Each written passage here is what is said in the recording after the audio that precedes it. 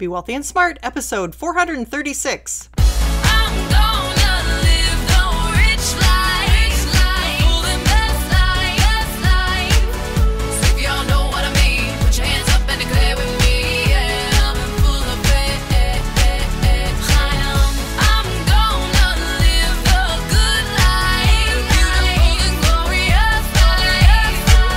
Step into a world of wealth and financial freedom without budgets, boredom, or bosses on Be Wealthy and Smart.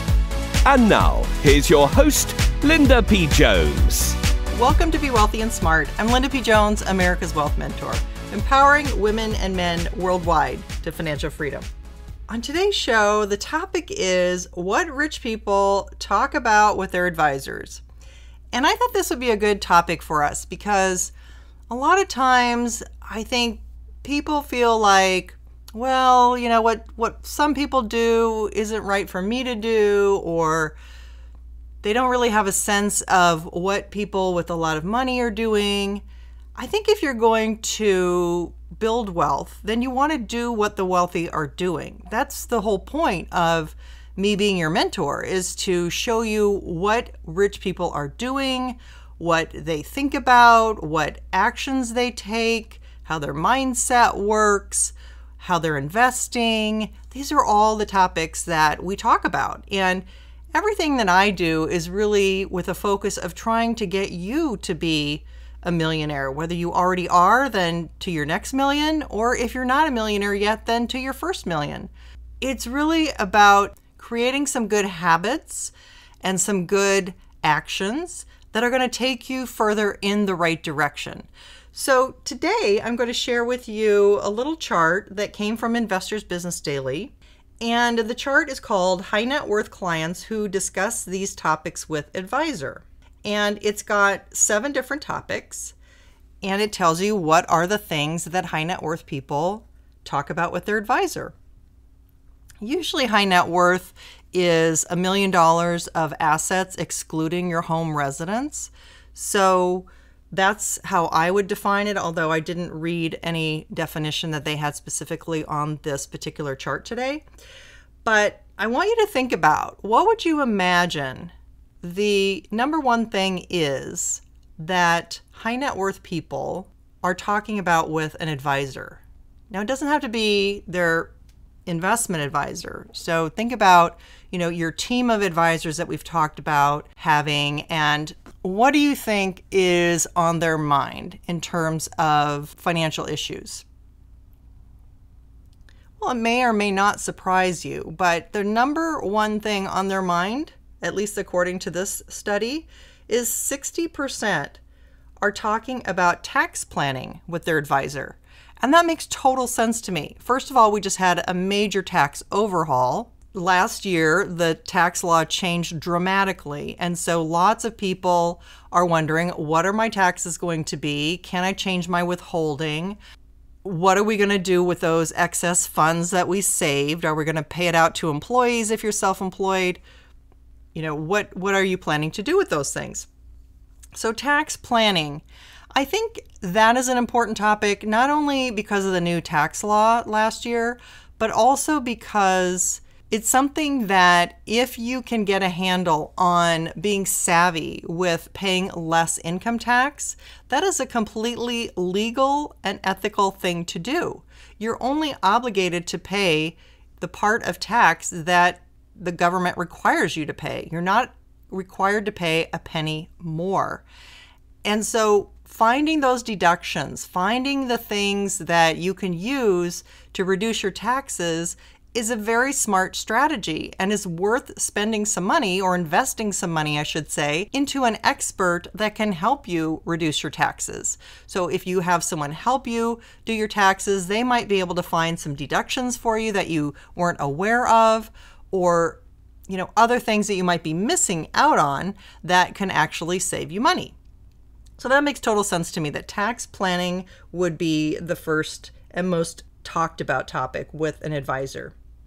The second most talked about strategy that high net worth clients talk to with their advisor is about their investment strategy. Again, pretty simple to understand. You also want your money to grow. I talk about the six steps to wealth, and of course, investing in a money engine, compounding at a high rate. Those are the key backbones of wealth building. And so, talking with your financial advisor about investment strategies makes total sense because you're going to want to find out how can you maximize your dollars? How can you make them grow more? Where are the wealth building opportunities right now? So, discussing that with an advisor is a very smart thing to do. The third thing that they talk about is estate planning. So, this would be if something happened to you, how would your family be taken care of? How would that money pass on to your family? Do you need to purchase life insurance to provide some additional benefit to pay off debt that you might have? Do you, for example, do you buy life insurance that could help pay off a mortgage that you have, that could help pay off any car loans or student loans that you have, plus provide a partial income. Or do you have children and you want to provide some college funds for your children that you haven't had a chance to accumulate yet? But also saving on the tax side of the equation, where once your estate grows large enough, you have to be concerned about estate taxes. And this was addressed in the last tax law as well, so that's all changed now. But there's a lot of discussion about is your estate set up properly? Uh, have you done the right things to minimize any taxes that might be due? Are you passing this on to your family? Have you created a will? Is the will drafted correctly? Uh, there's all kinds of questions that go into estate planning. So that is a very important topic. And the more assets that you have, the more important it is for you to talk about it. Number four is retirement spending. So, about 47% are talking with their advisors about retirement spending. Now, it's interesting they said retirement spending, they didn't say retirement planning. So, retirement spending, meaning how much income are you going to have in retirement? something that people always wonder how much can you spend? When can you retire? Can you retire early? If so, what will your income be? Those are all questions that you can constantly revisit with your financial advisor and make sure that you are on track for your goals and that everything is moving along toward your ability to retire when you want to retire. The next topic is investing amid rising interest rates, and that is about 35% of people with high net worths are talking with their advisors about that. And again, interest rates are going up.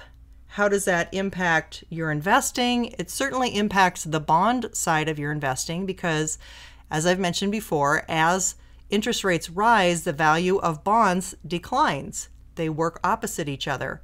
So, for many years, we were in a cycle of lower interest rates. And as we had that 30 year cycle where interest rates were gradually moving lower, we had the value of bonds moving up. Now we're in the opposite direction. We have interest rates moving up and we have the value of bonds moving down.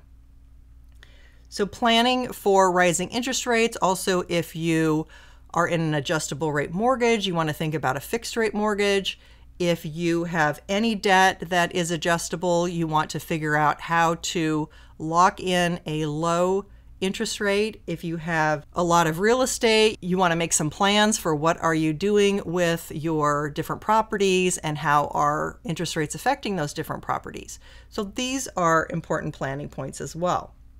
The sixth point that high net worth clients are talking with their financial advisors about is healthcare planning. About 32% are talking about healthcare that could mean healthcare regarding your parents, it could be healthcare regarding yourself, your family. It could mean people are elderly and looking at healthcare costs. It could mean you have special needs children. There's all kinds of reasons for healthcare planning. It could be talking about setting up an HSA account and using that smartly for your health expenses. So, healthcare planning is also a topic that they talk with their financial advisor about. And finally, the last category is called ESG investments, and about 27% of high net worth people are talking with their advisor about ESG investments. Now, you might not have ever heard of ESG. It stands for environmental, social, and corporate governance. It's really socially responsible investing, is what we used to call it. So, being an investor in companies that are doing the right thing for the environment, doing the right thing socially, doing the right thing from a corporate governance point of view, just being a good corporate citizen and taking into account positive things that a company might bring to the planet. This is gaining in popularity, more people are looking at this, and as long as they can get the good returns, people are getting more interested in putting their money behind companies that are doing the right thing. So, those are the seven things that high net worth clients are talking with their advisor about. Again, it's tax planning, investment strategies, estate planning, retirement spending, investing amid rising rates, healthcare planning, and ESG investments. So that might give you some ideas of things you can talk to a financial advisor about or your tax professional about. And make sure that you've covered these areas in your life because they are things that you need to be thinking about, making some decisions on, making sure that you get some good advice and that you've taken care of everything that you need to for you and your family to prosper.